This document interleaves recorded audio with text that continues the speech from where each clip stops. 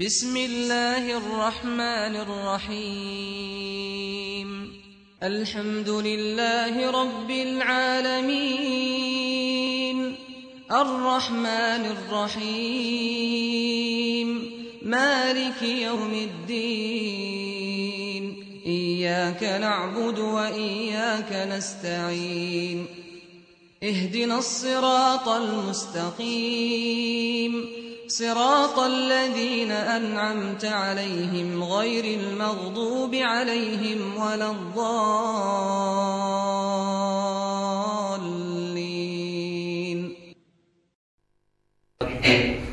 அளவற்ற அருளாளனும் நிகரற்ற அன்புடையவனுமாகிய அல்லாஹுவின் திருப்பெயரை கொண்டு ஆரம்பம் செய்கின்றேன் புகழனைத்தும் ஏக இறைவனாகிய அல்லாஹ் ஒருவனுக்கே அவனுடைய சாந்தியும் சமாதானமும் வற்ற பெருங்கண்ணையும் நபிகள் நாயகம் சல்லாஹ் அலிஸ்லாம் அவர்களின் மீதும் அவர்களுடைய சொல் செயல் அங்கீகாரங்களை தங்களுடைய வாழ்க்கை நெறியாக ஏற்று அதனை செயல்படுத்தி காட்டித் தந்த சத்திய சகாபாக்களின் மீதும் நல்லடியார்களின் மீதும் குறிப்பாக புனிதமிக்க ரமதானிலே இரவு பொழுதில் சத்திய மார்க்கத்தை அதனுடைய தூய்மையான வடிவில் அறிந்து கொள்ள வேண்டும் என்ற நன்னோக்கில் வந்து குளிமிருக்கக்கூடிய நம் ஒவ்வொருவர் மீதும் நின்றில் நோட்டுமா அன்பிற்கினிய மார்க்க சகோதரிகளே தமிழ்நாடு தௌஹி ஜமாத் அபுதாபி மண்டலத்தின் சார்பிலே ஒவ்வொரு ஆண்டும் ரமதானிலே தொடர் சிறப்பு சொற்பொழிவுக்காக தாயகத்திலிருந்து ஒரு அழைப்பாளரை வரவழைத்து பல்வேறுபட்ட தலைப்புகளில் மார்க்க செய்திகளை அறிந்து வருகிறோம். இன்றைய தினம் ரமதானுக்கு பின் என்ற தலைப்பின் கீழ் சகோதர் அப்துல் மஜீத் உமரே அவர்கள் உரை நிகழ்த்தவிருக்கிறார்கள் السلام عليكم ورحمة الله وبركاته. إن الحمد لله نحمده ونستعينه ونستغفره ونؤمن به ونتوكل عليه. ونعوذ بالله من شرور أنفسنا ومن سيئات أعمالنا. من يهده الله فلا مضل له ومن يضلل فلا هادي له. وأشهد أن لا إله إلا الله وحده لا شريك له. وأشهد أن محمدا عبده ورسوله أما بعد.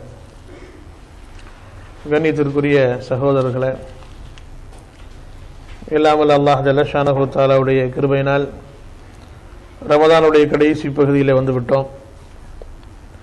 இனி ரமதானுக்கு பின் என்ன செய்ய வேண்டும் என்பது பற்றிய ஒரு தலைப்பை இன்று தந்திருக்கிறார்கள். அன்பிற்குரியவர்களே ரமதான் என்பது வருடத்திற்கு ஒரு மாதம். இந்த மாதத்தில் அல்லாஹ் ஜல்லஷானஹூ தாலா நோன்பு நோக்க வேண்டும் என்று கட்டளையிட்டிருக்கிறான். நோன்பு நோட்பதனுடைய நோக்கத்தை அல்லாஹ் ஜல்லஷானஹூ தாலா நமக்கு அல்லக்கும் தத்தகூன். இறையச்சம் உள்ளவர்களாக நீங்கள் ஆகுவதற்காக என்று குறிப்பிடவும் செய்கிறான் அப்படிப்பட்ட இந்த நோக்கத்தை இந்த ரமலானிலே நாம் அடைந்து விட்டோமா என்று சுய பரிசீலனை செய்வதற்கான கட்டம் இது. அடைந்து விட்டோம் என்பதை நாம் உறுதிப்படுத்த வேண்டும் என்று சொன்னால் அதற்கான அடையாளம் என்ன? அதற்கான அடையாளத்தை ரமதானுக்கு பிறகு நாம் வெளிப்படுத்துவதுதான் இன்றைய தலைப்பினுடைய சாராம்சம். நோன்பு என்பது நமக்கு எதையெல்லாம் தர வேண்டுமோ அதையெல்லாம் தந்து விட்டதா? அல்லது அதிலிருந்து நாம் எதை பெற வேண்டுமோ அதை நாம் பெற்று விட்டோமா என்று எண்ணி பார்க்க வேண்டும். பத்தோடு பதினொன்னாக நாமும் பகற்பொழுதிலே உண்ணாமல் பருகாமல் உடலுறவு கொள்ளாமல் இருந்தோம் என்றால் அது வெறும் பட்டினியாகிவிடும் அது வெறும் சடங்காகிவிடும். அதற்கென்று அல்லாஹ் சொன்ன நோக்கத்தை நாம் கடைபிடிக்கவில்லை என்று சொன்னால் அது கால விரயமாகிவிடும் அப்படியானால் நம்முடைய இறையச்சம் என்று அல்லாஹ் கற்பிக்கிற அந்த நோக்கம் நிறைவேறிவிட்டதா என்பதை நாம் எண்ணி பார்க்க கடமைப்பட்டிருக்கிறோம். நம்முடைய வாழ்க்கையில நாம் அடைய வேண்டிய பல்வேறு பண்பாடுகளை இந்த நோன்பு நமக்கு தருகிறது. பொதுவாக நோன்பு இறையச்சை தருகிறது என்று சொல்லப்பட்டாலும் அந்த இறையச்சத்தை நாம் நோன்பு காலங்களிலே உணர்ந்து கொண்டுதான் இருக்கிறோம். பொய் பேசக்கூடாது என்று எம்எல்ஏ சொல்லக்கூடியவர்கள் இருக்கிறார்கள். சினிமா பார்க்கக்கூடாது என்று சொல்லக்கூடியவர்கள் இருக்கிறார்கள். குரானோடு தொடர்பு கொள்ள வேண்டும் ரமதானிலே என்று சொல்லக்கூடியவர்கள் இருக்கிறார்கள். தர்ம சிந்தனையிலே ஈடுபடக்கூடியவர்கள் இருக்கிறார்கள். இவையெல்லாம் நோன்பு காலங்களிலே சாதாரணமாக நடக்கக்கூடிய விஷயங்கள். நல்லவற்றை எடுப்பதும் அல்லவற்றை தடுப்பதும் இயல்பாக நடந்து கொண்டுதான் இருக்கின்றன. இதையும் தாண்டி சில பேர் தவறு செய்கிறார்கள். நோன்பு வைத்துக் கொண்டே பொய் சொல்லக்கூடிய இருக்கிறார்கள். நோன்பாளிகளாக இருந்து கொண்டே சினிமா பார்த்து நேரத்தை போக்குவரத்து இருக்கிறார்கள். நோன்பு வைத்த நிலையிலேயே ஏழைகளுக்கு உதவ மறுப்பவர்கள் இருக்கிறார்கள். இதெல்லாம் அவர்களுடைய வக்கர உணர்வின் வெளிப்பாடு. ஆனால் நோன்பாளிகளாக இருக்கிற போது சராசரியாக பல்வேறு பக்குவங்களை நாம் வெளிப்படுத்தி கொண்டுதான் இருக்கிறோம். அதாவது ரமதானோடு முடிந்து விட்டதா? ரமதானுக்கு பிறகு இதோடு எந்த தொடர்பும் இல்லையா? என்று கேட்டால் நிச்சயமாக இருக்கிறது. ரமதானுக்கு பிறகு ரமலானில் செய்யப்பட்ட பல்வேறு விஷயங்களை நாம் மேற்கொள்வதற்கு அல்லாஹ் ஜல்லஷானகுத்தாலா அவனுடைய தூதர் சல்லா அலிஸ்லம் அருள் மூலமாக வழிகாட்டி இருக்கிறான் நோன்பு ரமலானோடு முடிந்து விட்டது என்கிற நிலையில் சில பேர் இருப்பார்கள். நோன்புடைய முதல் நோன்பு இரண்டாவது நோன்புலாம் ரொம்ப சிரமத்தை அனுபவிப்பார்கள். ஏனென்றால் அதுக்கு பிறகு நோன்பு வைக்கிறதே இல்லை. ரமலானுக்கு முன்பும் நோன்பு வைக்கிறதில்லை. ரமதானுக்கு ரமலானுக்கு பின்பும் நோன்பு வைப்பதில்லை. ரமலானில் மாத்திரம் எல்லாரும் சராசரியா நோன்பு வைத்திருக்கிறார் என்கிற அடிப்படையிலே நோன்பு வைக்கக்கூடியவர்களை பார்க்கிறோம். ரமதானுக்கு பிறகும் பிறகும் நோன்பு தொடர்கிறது. எப்படி? ஷவ்வால் மாதத்தினுடைய ஆறு நோன்பை பெருமானார் செல்லதா அலுவலம் நோக்குமாறு கட்டளையிடுகிறார்கள். ரமதானை தொடர்ந்து ஆறு நோன்புகளை நீங்கள் ஷவ்வாலில் இருந்து தேர்ந்தெடுத்துக் கொண்டால் ஆயுள் முழுவதும் கண்ணமா சாமத்தகரக்குள்ளகு ஆயுள் முழுவதும் நோன்பு நோட்டு நன்மை கிடைக்கும் என்று பெருமானார் செல்லதா அலுவலம் சொல்கிறார்கள். ஆயுள் முழுவதும் என்று சொன்னால் அப்ப அடுத்த ரமதானுக்கு நோன்பு நோக்க வேண்டாமா? அப்படி அர்த்தம் இல்லை இருபத்தி ஒன்பதோ அல்லது முப்பதோ. ரமதான் முடித்து விட்ட பிறகு ஷவ்வாலுடைய ஆறு நோன்புகள் சராசரியாக முப்பத்தி ஆறு நோன்புகள். ஒன்றுக்கு பத்து என்று அல்லாஹ் தருவதற்கு காத்திருக்கிறான். அஷரு அம்சாலிஹா மஞ்சாபில் ஹசனத்தி ஃபலஹு அஷரு அம்சாலிஹா. ஒருவன் ஒரு நல்ல காரியத்தை செய்தால் அவனுடைய நன்மையாக பத்து அல்லாத ஜல்லஷான் தலா தருகிறான். முப்பத்தி ஆறுக்கு முன்னூற்றி அறுபது நன்மைகள். முப்பத்தி ஆறு நோன்பு நோக்கிறோம். முன்னூற்றி அறுபது நாட்கள் நோன்பு நோட்டு நன்மை நாம் பெறலாம். அப்படி பெறுகிற போது வருஷா வருஷம் இதை நாம் தொடர்ந்தோம் என்று சொன்னால் ஆயுள் முழுவதும் நோன்பு நோட்டு நன்மை பெற முடியும். எப்படி அம்ருமுல்லா ஆசதி அல்லாஹு நபிகள் நாயகம் சல்லா அலுவலம் இடத்திலே வந்து அல்லாவுடைய தொழிலை எனக்கு அதிகம் அதிகமாக நோன்பு கொடுக்கக்கூடிய சக்தி இருக்கிறது என்று சொன்ன போது நபிகள் நாயகம் சல்லா அலுவலம் அவர்கள் மாதம் ஐயாமுல் பீர் என்று சொல்லப்படுகிற பௌர்ணமி தினங்களாகிய பதிமூன்று பதினாறு மற்றும் பதினஞ்சு ஆகிய நாட்களை நோன்பு நோக்க சொன்னார்கள். அல்லாவுடைய தூதரை அதை விட சக்தி இருக்கிறது. அப்படியானால் வாரத்திற்கு இரண்டு நாட்கள் திங்கட்கிழமையும் வியாழக்கிழமையும் நோன்பு நோக்குமாறு பெருமானார் சல்லா அலிஸ்லம் சொன்னார்கள். அல்லாவுடைய தூதரை அதற்கு மேல் எனக்கு சக்தி இருக்கிறது என்று சொன்னபோது பெருமானார் சல்லா அலிஸ்லம் தாவூத் அலி இஸ்லாமுடைய நோன்பை நோற்றுக்கொள் என்று சொன்னார்கள். தாவூத் அலி இஸ்லாமுடைய நோன்பு என்றால் என்ன? ஒரு நாள் நோன்பு மறுநாள் நோன்பு இல்லாமல் இருப்பது. ஒரு நாள் விட்டு ஒரு நாள் நோன்பு வைப்பது. இதை பெருமானார் சல்லா அலிஸ்லம் வலியுறுத்திய போது அதற்கு மேலாலும் எனக்கு சக்தி இருக்கிறது என்று சொன்ன அம்ருமல் ஆசதையல்லாஹு அவர்களுக்கு பெருமானார் செல்லதா அலுவலம் அதற்கு மேல் அனுமதி இல்லை என்று சொன்னார்கள். எப்படி அனுமதி இல்லை? தினமும் நோன்பு நோற்பதற்கு அனுமதி இல்லை. ஆனால் தினமும் நோன்பு நோட்டு நன்மையை பெறுவதற்கு பெருமானார் செல்லதா அலுவலம் அவர்கள் வேறு ஒரு வாய்ப்பை நமக்கு சொல்லித் தந்தார்கள். அப்ப முப்பத்தி ஆறு நோன்பு வருடம் நாம் நோட்டு விட்டோம் என்று சொன்னால் ஒரு வருடத்திற்கான நன்மைகள் கிடைக்கின்றன நோன்பு நன்மைகள் கிடைக்கின்றன. வருடா வருடம் இதை நாம் தொடர்ந்தோம் என்று சொன்னால் அல்லாஹ் ஜல்லஷானஹு தன்னுடைய ஹசானால என்ன? அல்ல அல்ல குறைவா போது அள்ளி தருகிறான். ஆயுள் முழுவதும் நோன்பு நோட்டு நன்மையை நாம் பெறுகிறோம் அன்பு சகோதரர்களே. அதைத் தொடர்ந்து முஹர்ரம் மாதத்திலே நோன்பை பெருமானார் சல்லா அலிஸ்லம் வலியுறுத்தினார்கள். ஆஷுரா மற்றும் தாசுவா ஒன்பது பத்து ஆகிய இரண்டு தினங்கள். அதுபோல அரபாவுடைய நோன்பை பெருமானார் சல்லா அலிஸ்லம் வலியுறுத்தினார்கள். தாவூத் அலி இஸ்லாமுடைய நோன்பு வரைக்கும் பெருமானார் சல்லா அலிஸ்லம் அனுமதித்தார் என்பதை பார்க்கிறோம். அப்படியானால் ரமானில் ரமலானிலே நாம் ஏற்படுத்திக் கொடுக்கிற அந்த சார்ஜ் அந்த உத்வேகம் அந்த வீரியம் அது ஏனைய நாட்களிலும் வெளிப்பட வேண்டும். அது கொஞ்சம் கொஞ்சமாக மங்குகிற போது அதை தூக்கி பிடித்து நிறுத்துவதற்காக வேண்டி அவ்வப்போது சார்ஜ் போட்டுக் கொள்வது போல புதுப்பிப்பதற்காக வேண்டி அல்லாஹு அவருடைய தூதர் மூலமாக ஏற்படுத்திக் கொண்ட நபிலான நோன்புகள் இருக்கின்றன. நபிகள் நாயகம் சொன்னதா அலிஸ்லமுடைய நோன்பு எப்படி இருந்தது? பஜனை தொழுது விட்டு வீட்டுக்கு வருவார்கள் உண்பதற்கு ஏதாவது இருக்கிறதா என்று கேட்பார்கள். இல்லை என்று சொல்லப்பட்டால் அப்படியாயின் நான் நோன்பு இருக்கிறேன் என்று பெருமானார் சல்லா அலிஸ்லம் சொல்லுவார்கள். உண்பதற்கு வழியில்லை என்கிற போது நான் நோன்பு இருக்கிறேன் என்று பெருமானார் சல்லா அலுவலம் அறிவித்து விடுவார்கள். நோன்புக்கென்று சகருக்கு அப்படி உணவு இப்படி உணவு என்னெல்லாம் வகை வகையான உணவுகளை சாப்பிடுகிற நாம் எங்கே பெருமானார் சல்லா அலுவலம் அவர்கள் இல்லை என்பதற்காக வேண்டி நோன்பு வைத்த நிலையை பார்க்கிற போது அவர்கள் எங்கே இருக்கிறார் என்பதை நாம் புரிந்து கொள்ள முடியும். அவ்வளவு சாதாரணமாக பெரும்பாலும் நோன்புகளை பெருமானார் சல்லா அலிஸ் நஃபிலான நோன்புகளை நோட்டிருக்கிறார் எனவே அன்பு சகோதரர்கள் மனதிலே திடமாக இருத்திக் கொள்ள வேண்டிய விஷயம் என்ன? ரமலானோடு நோன்புடைய சகாப்தம் முடிந்து விட்டது என்று கருதாதீர்கள். ரமலானை தொடர்ந்தும் நோன்புகள் இருக்கின்றன. பெண்ணார் தினங்களே நோன்பு வைக்கக்கூடாது. சக்குடைய நாளிலே நோன்பு அதாவது நோன்புக்கு முன்னால் ஷாபானுடைய கடைசி நாள் அதிலே சக்கு வருகிறது என்று சொன்னால் அதில் நோன்பு வைக்கக்கூடாது. அதுபோல வெள்ளிக்கிழமையை மாத்திரம் குறிப்பிட்டு அந்த நாளிலே நோன்பு வைப்பதை தவிர்க்க வேண்டும்.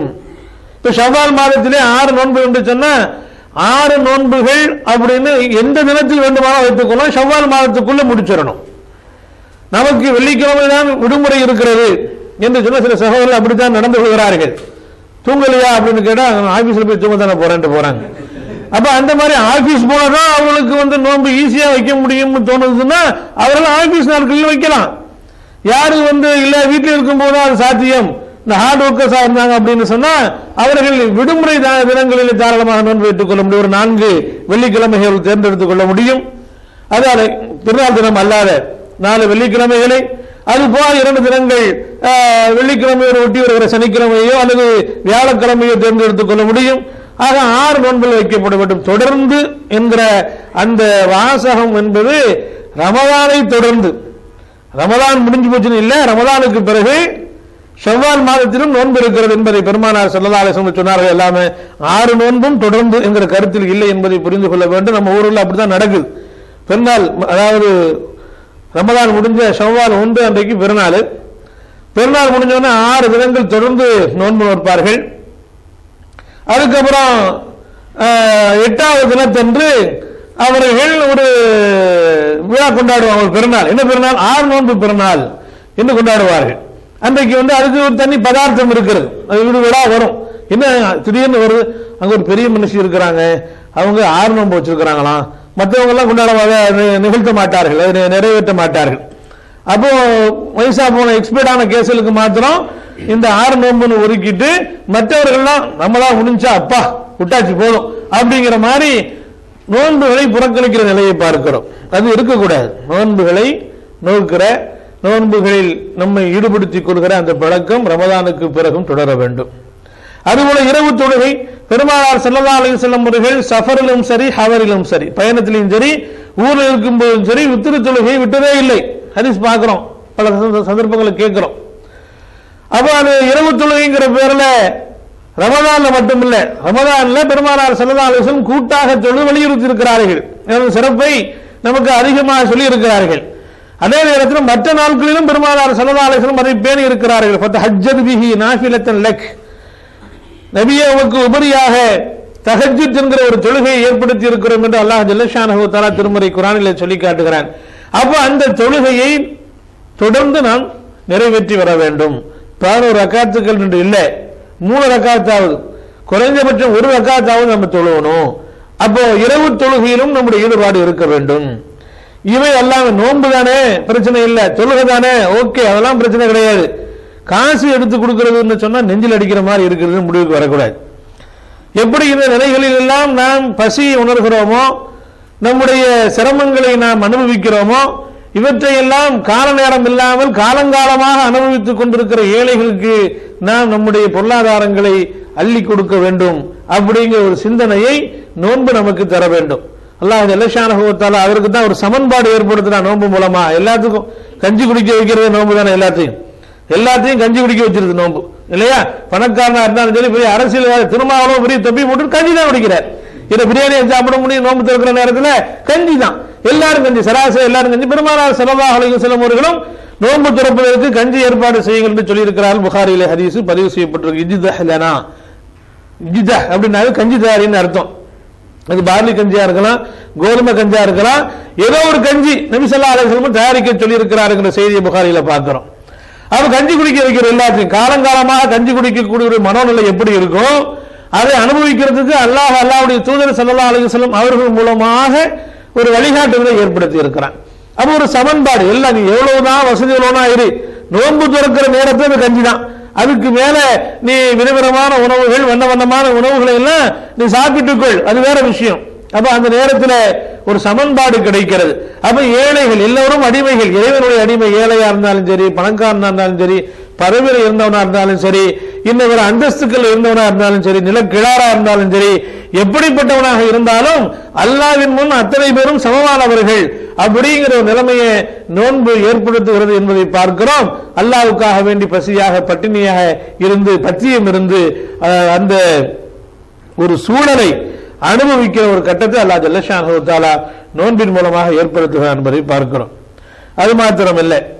நோன்பு மூ- நோன்பு என்பது அடையாளப்படுத்தக்கூடிய அடையாளப்படுத்தப்படக்கூடிய ஒரு இபாதத்து இல்லை என்பதை நான் அடிக்கடி சொல்வேன். என்னால் வேறு வேறு வணக்கங்களை பொறுத்த வரைக்கும் அதற்கு ஒரு அடையாளம் உண்டு. களிமாவா இருந்தாலும் சரி தொழுகையா இருந்தாலும் சரி ஜக்காத்தா இருந்தாலும் சரி ஹஜ்ஜா இருந்தாலும் சரி இவைகள் யாரோடு மேற்கொள்ளப்பட்டன என்பது பற்றிய விஷயங்களை எல்லாம் உறுதிப்படுத்திக் கொள்ள முடியும். ஆனால் நோன்புக்கு அந்த மாதிரியான எந்த அடையாளமும் இல்லை. அவன் நோன்பு என்று சொன்னால் நோன்பு தான் நோயாளி மாதிரி இருந்தா தான் நோம்பாளியா அப்படி ஒன்றும் கிடையாது. அப்போ நோன்பு என்பதற்கு அடையாளம் ஒன்றும் இல்லை. ஆனால் நோன்பு என்பதை ஒரு மனிதன் தன்னுடைய நடத்தையின் மூலமாக வெளிப்படுத்திக் கொள்வதற்கு பெருமானார் ஸல்லல்லாஹு அலைஹி அவர்கள் அடையாளங்களை சொன்னார்கள். அவனை சண்டை போட்டா கூட அவன் திருப்பி சண்டை போட மாட்டான். அவன் திட்டினா கூட திருப்பி திட்ட மாட்டான். அவன் பொய் பேச மாட்டான். பொய்யான பொய் சாட்சி போன்ற காரியங்களிலே அவன் ஈடுபடக்கூடாது என்பதை பெருமானார் சல்லா அலைஹி அவர்கள் நோன்பாளியுடைய விஷயத்துல சொன்னாங்க. இன் சாபகு அஹதும் அவ காத்தலகு காத்தலஹு ஃபல்யகுல் இன்னிம்ரவுன் சாயிமுன். அல்லது அல்லாஹுமே இன்னி சாயும் என்று அவன் சொல்லட்டும். அவனோட சண்டையிட யாராவது வந்தாலோ அல்லது அவனை நிந்தனை செய்வதற்கு திட்டுவதற்கு யாரும் வந்தால் பலிக்கு பலி திட்டுவதற்கும் பலிக்கு பலி சண்டையிடுவதற்கும் அவனுக்கு உரிமை இருந்தாலும் கூட நான் தவமாக தவம் இருக்கிறேன் தவத்தை கலைத்து விடாரு என்று சொல்வதற்கு அவனுக்கு பெருமானார் சொல்லதா அலிசன் கட்டளை இடுகிறார் நான் நோம்பாளின்னு சொல்ல பிரகடனப்படுத்து என்று ரவி சொல்லதா அலிசன் அவர்கள் சொல்கிறார்கள். அப்படியானால் தம்முடைய செயல்பாடுகள் மூலமாக தம்முடைய அசைவுகள் மூலமாக தம்முடைய பண்பாடுகள் மூலமாக ஒரு மனிதன் தன்னை நோன்பாளி என்று உணர்த்த வேண்டும். அதுக்கு தகுந்தாற் போல அவன் தன்னை பக்குவப்படுத்திக் கொள்ள வேண்டும் என்பதை நபிகள் நாயகம் ஸல்லல்லாஹு அலி வஸல்லம் அவர்கள் நமக்கு சொல்லித் தருகிறார்கள். அப்ப சாப்பிடாம கிடக்கிறது அப்படிங்கிற அந்த விஷயம் மட்டும் இல்லை. நாவை கட்டுப்படுத்துவது என்று சொன்னால் நாவின் விபரீதங்களுக்கான என்னென்ன சூழல்கள் இருக்கிறனவோ அத்தனைகளையும் கட்டுப்படுத்த வேண்டும் என்பது அதுபோல நபி ஸல்லல்லாஹு சொன்னார்களே எவன் தன்னுடைய இரண்டு தாடுகளுக்கு இடையே இருக்கிற நாவையும் இரு தொடைகளுக்கு இடையே இருக்கிற கற்பையும் சரியாக பயன்படுத்துவதாக உத்தரவாதம் தருகிறானோ அவனுக்கு சொர்க்கம் உண்டு என்கிற உத்தரவாதத்தை நான் தருகிறேன். என்று நபி ஸல்லல்லாஹு சொன்ன செய்தியை நாம் அறிந்திருக்கிறோம். அப்ப சொர்க்கத்திற்கு உத்தரவாதம் தருவதற்கான பயிற்சியை நோன்பு என்கிற ஒரே ஒரு இபாதத்தை நமக்கு தருகிறது என்று சொன்னா அதை எந்த அளவுக்கு நாம் உள்ளுணர்வோடு பேண வேண்டும் என்பதை எண்ணி பார்க்க கடமைப்பட்டிருக்கிறோம். என்பதற்குரியவர்களே நம்முடைய நடத்தைகள் மூலமாக. எந்த அளவுக்குன்னு சொன்னா பெருமானார் செல்லதா அலைஹி சொன்னார்கள் பல்லிஹு அன்னி உலவாயா? என் மூலமாக ஒரு செய்தி கிடைத்தாலும் நீங்கள் பிறருக்கு சொல்லுங்கள். என் மூலமாக ஒரு செய்தி கிடைத்தாலும் அதை பிறருக்கு சொல்லுங்கள். இத இந்த ஒரே ஒரு ஹதீஸை பாட்டு பாட்டா நிறைய பேர் பிரிச்சுட்டாங்க. ஒரு சாரா என்ன? பல்லிஹு தபிலீக் செய்யுங்கள் என்பதை மட்டும் புரிந்து கொண்டு என்னெல்லாமோ தபிலீக் செய்யறாங்க இல்லையா? ஒரு நாள் சபுகுசாரி ஒரு நாள் சபுகுசாரி இருந்தா ஆயிரம் ரயிலத்திற்கு சிறந்து ஒருத்தன் அடிச்சு விட்டான். எங்கடா இருக்குது? அப்படி எங்க சப்குசாரி எப்போ வந்துச்சு? வியாழக்கிழமை நீங்க தேர்ந்தெடுத்தது எப்போ? ஆ, இது ஹதீஸ் பெருமானார் செல்லவாரசன் சொன்னது எப்போ? அப்படின்னு சொன்னா முழிக்கிறான். என்ன சொல்றான்? நல்லது தானே சொல்றேன் அப்படிங்கிறான். நல்ல அப்படியே மக்களை கூட்டலாம் அப்படின்னு. வியாழக்கிழமை ஒரு நாள் பள்ளிவாசல்ல படுத்து கிடந்து பள்ளிவாசல்ல கரண்டு ஆ, தண்ணி எல்லாத்தையும் வந்து அநியாயமா வேஸ்ட் பண்ணிட்டு குரட்டை விட்டு தூங்கிட்டு குரட்டை விடாமல தூங்கிட்டு அதுக்கப்புறம் மறுநாள் எழுச்சி போறான். அந்த நைட்டு பூரா பள்ளிவாசல்ல லாட்ஜா பயன்படுத்துறான். இதை தவிர வேற என்ன நடக்கிறது? அப்ப அத லேலத்தில் கதிருக்கு அதான் ஆயிரம் லேலத்தில் கதிர். பாருங்க ஒரு முன்மாதிரி ஆயிரம் மாதங்களோட சிறந்தது அல்லா சொல்றான்ல. இவன் என்ன அப்படியே மல்டிப்ளை பண்ணி ஆயிரம் லேலத்தில் கதையோட சிறந்தது அப்படின்னு ஓட்டுறான் சுபஹானல்லாங்கிற நம்மால் உட்கார்ந்துட்டு சுபஹானல்லா அப்படியா? ஒரு சப் குசார் இல்ல. ஷப்புனா இரவு. பார்சில ஷப் ஷபே பராத்லாம் கேள்விப்படுறோமா இல்லையா? ஷப்புனா இரவு. குசாரினா குசார்னா கடத்தி விடுறது. நீ கடத்தாட்டாலும் அது கடந்து தான் போகும். இல்லையா? இரவு கடத்துதல் அப்படிங்கிறதுக்கு ஆயிரம் மாதங்களோட ஆயிரம் வேதத்தில் சிறந்த நன்மை கிடைக்கும் அப்படின்னு எப்படிலாம் பொருளா விடுறாங்க பாருங்க. இதுக்கு என்ன தபிலீக்குன்னு பேர். எதையாவது மக்கள்கிட்ட ஏற்றி வைக்கிறது. எதையாவது மக்கள் எத்தி வைக்கிறது இல்ல ஏற்றி வைக்கிறது. இல்லாத பொருளாத எல்லாம். அப்போ அதுக்கு பேர் தபிலீகு. பெரியார் கதைகள்லாம் எடுத்து சொல்றாங்க. இல்லையா? பெரியார் அப்படி பெரியார் அப்படி நடந்துகிட்டாரு இப்படி நடந்துகிட்டாரு அப்படின்னு அவர் பெரியார் தொழுது கொண்டு இருந்தாராம் பக்கத்துல ஒரு குழந்தை வந்து நெருப்புல உள்ள போச்சு அல்லது பாம்பு ஏதோ அதை தீண்ட போச்சு. அதான் மக்கள்லாம் ஓடி வந்து தூக்கி பார்த்துட்டான் தூக்கிட்டாங்க காப்பாத்திட்டாங்க பிள்ளைய. இவர் தொழுது முடிச்சுட்டு கேட்டாராம் என்ன ஒரே கூச்சலும் குழப்பமாக இருந்தது? அப்படின்னு. என்னையா தொழுகிற நீ? பிள்ளை சாக பார்த்துச்சே. அப்படிங்கும்போது அது எப்படி எனக்கு தெரியும்? கூச்சல் குழப்பம் மட்டும் வழங்குச்சு அவருக்கு. குழந்தை நெருப்புல உள்ள போறது அல்லது பாம்பு தீண்ட போறது எனக்கு எப்படி தெரியும்? நான் அல்லாவோடு ஒன்றி போய் விட்டேனே அப்படின்னாராம். பார்த்தீங்கன்னா இப்போ அந்த பெரியாருடைய தொழுகை பார்த்தீங்களான்ட்டு ஜக்கரியா மௌலானா ஒரு கமல் அடிக்கிறாரு. இது வல்லவோ தொழுகை அப்படின்னு. நான் கேட்குறேன் ஜக்கரியா மௌலானாவால அப்படி தொழ முடியுமா? சுற்றுமுற்றும் நடக்கிறத பார்க்காம புரிஞ்சு கொள்ளாமல் நடக்க தொழ முடியுமா? தொழுது கொண்டு இருக்கிற போது பாம்பு தேல வந்தால் அதை அடின்னு பெருமானார் சொல்லா சொன்னாங்க. ஏன் தெரியுமா? பாம்புக்கும் தேலுக்கும் தொழுபவனுக்கும் தொழாமல் இருப்பவனுக்கும் இடையே வித்தியாசம் பார்க்க தெரியாது. எனக்கு தெரியுமா? நான் தொழுவாம படுத்து கிடப்பான் வஜ்ர தொழு தொழுவாம படுத்து கிடப்பான். அவனை ஒன்றும் பண்ணாம நம்மளை தான் தட்டும். ஏன்? நாம அசைறது குனியறது நிமிறது பார்த்து ஏதோ குச்சி எடுத்துட்டு வரப்போடா நம்மளை கொள்றதுக்கு அப்படின்னு அது நினைக்கும். ஒரு தற்காப்பு போர் தானே. விஷத்தை கக்குறதுன்னு என்ன? மருமையில நன்மை கிடைக்கணும் நம்ம விஷத்தை கற்கிறது அப்படி இல்லை. எதுக்காக வேண்டி கேட்குது ஒரு தற்காப்பு போர். அதுதான். அதான் சின்ன பாம்பு சயின்டிபிக் என்ன சொல்றான்? சின்ன பாம்பு தீர்ந்துதான் பெரிய பிரச்சனையா? ஏன்னா பெரிய பாம்பா இருந்ததுன்னா அது தன்னை தற்காத்துக் கொள்வதற்காக வேண்டி தற்காப்பு போர் செய்வதற்காக ஒரு லிமிட்ல தான் விஷத்தை கட்டுமா? சின்ன பாம்பு அப்படி செய்யாது. அதுக்கு லிமிட்டே தெரியாது. அளக்க தெரியாது. இருக்கிறத கூட கொட்டிடும் அதனால சின்ன பாம்பு கொட்டினா தான் அபாயம். சீக்கிரமா போய் மருத்துவம் பாருங்க அப்படின்னு சொல்றான். அப்ப அந்த மாதிரி படுத்து கிடக்கிறவனை விட்டுட்டு தொழில் கொண்டு போட்டு தள்ளும். எனவே பெருமானா சொன்னார் லாஜிக்கா சொல்றாங்க. தொழுபவனுக்கும் தொழாமல் இருப்பவனுக்கும் அதுக்கு வித்தியாசம் பார்க்க தெரியாது. அப்ப தொழுகி விட்டுட்டு அடிங்கிறாங்க. இவர் வந்து அல்லாவோட ஒன்றி போனாராம். பின்னாடி குழந்தைகளுடைய அழுகுரல் கேட்கிறது. நான் தொழுகையை நீட்டி தொழுவிக்க வேண்டும் என்று விரும்புகிறேன். குழந்தைகளுடைய அழுகுரல் தாய்மையுடைய மனசை புண்படுத்துமே அப்படிங்கிறதுக்காக அப்படிதான் நான் சுருக்கி தொழுகிறேன் என்று பெருமானார் சல்லா அலிஸ்லாம் அவர்கள் சொன்ன செய்தியை நம்ம பார்க்கிறோம். பின்னாடி ஒரு ஒரு ரசுல்லா சல்லா அலிஸ்லம் தொழுகை நடத்தும் போது மெதுவாக தான் ஓதுறாரு. அந்த ஓசை பெருமானார் சல்லா அலிஸ்லமுடைய தொழுகை இந்த குரான் ஓதுவதோடு மோதுகிறத நபிசல்லா அலிஸ்லாம் அவர்கள் யாரு எனக்கு பின்னால் குரானை கொண்டு தர்க்கித்தது? என்று கேட்கிறாங்க யாருன்னு கேட்கிறாங்க ரப்பனா லக்கல் ஹம்த் ஹம்தன் கசீரன் தைமன் முபாரக்கன் ஃபி. சொன்னது யாருன்னு கேட்கிறாங்க நபிசல்லா அலிஸ்லாம் அப்ப இப்படி பின்னாடி ஓதுகிறது பெருமானார் செல்லதா அலையம் உனக்கு டிஸ்டர்ப் பண்ணிருக்குது அப்படின்னு தெரியுது. தொழுது கொண்டு இருக்கிறார்கள் தொழுது முடிஞ்சவன தன்னுடைய அறைக்கு போறாங்க. சகாபாக்கள் கேட்கிறாங்க அல்லாவுடைய தூதரே நீ ஒரு நாள் இவ்வளவு வேகமா போனது இல்லையான்னு கேட்கும்போது இல்ல பொதுமக்களுக்கு சேர வேண்டிய சில கனிம பொருட்கள் அறையில் அறையில இருந்துச்சு தொழுது கொண்டிருக்கிற போது நினைவுக்கு வந்துச்சு எனவே தான் உடனே நான் போனேங்கிறாங்க. உலக விஷயங்கள் நினைவுக்கு வராம இருக்குமா? ஜக்கரியா மௌலானாக்கு முடியுமா? இல்ல அசரஜிக்கு முடியுமா? யாருக்கு தொழுவ முடியும்? இதை கேட்டு வர்றான். பள்ளிவாசலுக்கு சில பேர் வருவான். பள்ளிவாசல் ஏன்னா பள்ளிவாசல் பக்கத்தில் பெரும்பாலும் மீன் கடை இருக்கும். வீட்டில் மசாலா அரைச்சி வச்சுட்டு கடையில் போய் மீன் வாங்கிட்டு வாங்கன்னு அனுப்பி விட்டுருவாங்க ஒரு கூடையை கொடுத்து. இவன் பஜாருக்கு வந்துட்டு இருக்கும்போது இவரு அல்லாவுடைய வேலை நடக்குது வாங்க பள்ளிக்கு. ஆகத்துடைய வேலை நடக்குது வாங்க. அப்படின்னு கூப்பிட்ட உடனே இல்லைங்க கடைக்கு போற கடைக்கு தான் எப்பவும் போலாம வாங்கணும் கூடையோட பள்ளிக்கு போயிடுவார் போய் உட்கார்ந்து அங்க தாலீம் வாசிப்பாங்க. இது வல்லவோ தொழுகை யோசனை பண்ணி பார்ப்பாரு. லோகர் தொழுகை அல்லாஹ் அக்பர் தக்பீர் கட்டி இமாம் மம்மா தொழுகிட்டு இருப்பார். மீ வாங்க சொன்னால என்னாச்சு தெரியலையே. அப்படி தொழுது முடிச்சிட்டு பார்ப்பாரு. மீ ஞாபகம் வந்துருச்சு அப்ப நம்ம தொழுது தொழுது இல்லை. ஏன்னா இது வல்லவோ தொழுகை சக்கரியாமல் கம்மன் அடிச்சிருக்காரு. முடியாது. அப்புறம் அசர் தொழுகை பார்ப்பாங்க லோகர் தொழுகை போய் வீட்டுக்கு போக முடியாது. ஏன்னா அங்க மீனுக்கு மசாலா அரைச்சி வச்சுக்கிட்டு இருப்பா. மீன் வாங்கிட்டு போகணும். இதுக்கப்புறம் கடைக்கு போனா மீனும் கிடைக்காது. அவ்வளவுதான் அதுக்கப்புறம் மகரி பொருள் கஷ்டத்துக்கு வாங்க கூப்பிடுவாங்க பாப்பாரு மூணு நாள் வெளியூருக்கு போயிருவோம். கோபம் அடங்கட்டோட வெளியூருக்கு போயிருவாங்க. அதுக்கப்புறம் செய்தி கேள்விப்பட்டு என்ன மனுஷன் கூட தூக்கிட்டு மீ வாங்க போனவரை காணமேனு கேள்விப்படும் போதுதான் அவர் ஜமாத்துல போயிட்டாரான்னு சொல்லுவாங்க. ஜமாத்துல போயிட்டாரா? அதுக்கப்புறம் சொல்லி அனுப்புவாங்க. ஒன்றும் பிரச்சனை இல்லையா? வருத்தம் இல்லையா? கோபம்லாம் அடங்கிட்டான் வீட்டுக்கு வரணுமா? அப்படின்னு யார்கிட்டயாவது சொல்லி அனுப்புவாங்க. உடனே அவர் ஓஹோ சரி இன்னும் போலாம் அப்போ. அப்படின்னு அதுக்கப்புறம் தான் அவர் தயங்கி தயங்கி வீட்டுக்கு வருவார். இந்த மூணு நாள் ஜமாத்துக்கு போறவங்களுடைய வரலாறுலாம் நீங்க தனித்தனியா கூப்பிட்டு கேட்டீங்கன்னா பெரும்பாலும் இப்படி இருக்கும். அப்ப இந்த மாதிரி இது வல்ல ஒரு தொழுகை பாருங்க இந்த மாதிரி செய்திகள் அவங்க தமிழிங்கிற பேர்ல பெரியார அவங்கள இவங்களை எல்லாம் கொண்டு வந்து நிறுத்தி அதுதான் இஸ்லாம்ங்கிற அளவுக்கு ஆக்கிட்டாங்க. ஆஹா அப்படிப்பட்ட பெரியாருடைய வாழ்க்கை.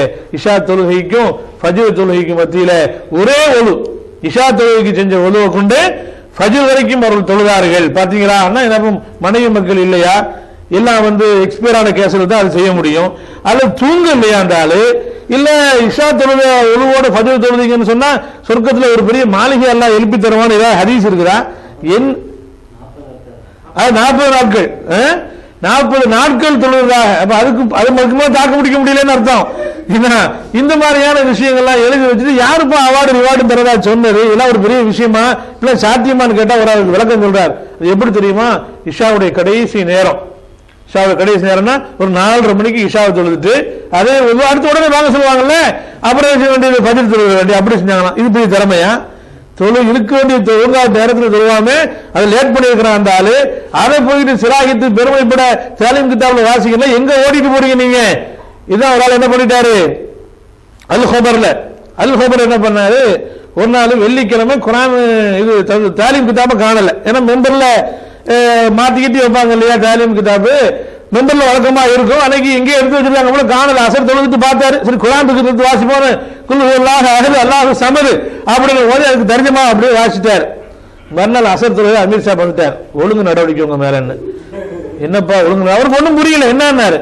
உங்க ஒழுங்கு நடவடிக்கை ஜமாத்தினுடைய சட்டத்துக்கு பிறகு நீங்க மாத்திருக்கீங்க. என்ன என்ன மாத்தின? நேத்து குரான் வாசிக்கணும் என்ன இருக்கார் குரான் தாரீம் கிதாப காண காணலாம் விட்டுற வேண்டியதானே அப்படி குரான் எப்படி வாசிக்கிறான்? இல்லங்க குரான்ல என்ன தப்பான வாசிக்கல குள்ளா குள்ளோலாக தான் இருந்துட்டு போட்டோம். அதை வாசிச்சது தப்பா இல்லையா?